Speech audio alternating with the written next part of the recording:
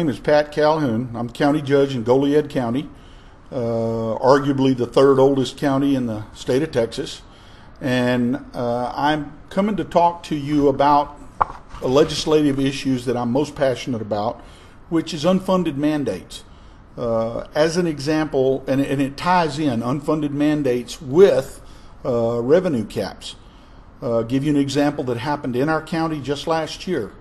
We had a uh, man that was picked up by the sheriff's office, turned out had a blue warrant.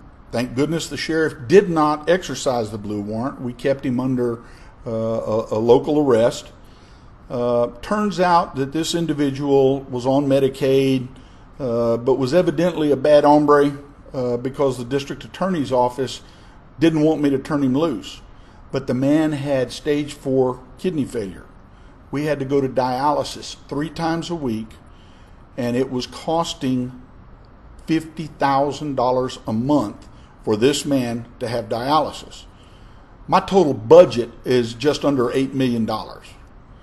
So it was a, a, a hit hard uh, when you started talking about the medical treatment that this individual had to have. Uh, so the sheriff called me, asked for help.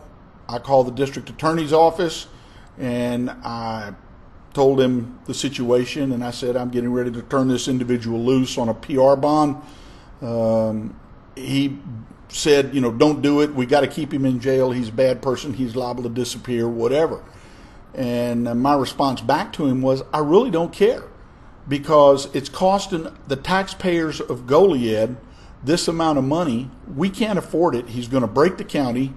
Uh, we got to do something different. And the DA asked me, well, what do you, you know, what do you want to do? And I told him, that's why I'm calling you. What do you want to do? Because I'm getting ready to turn him out.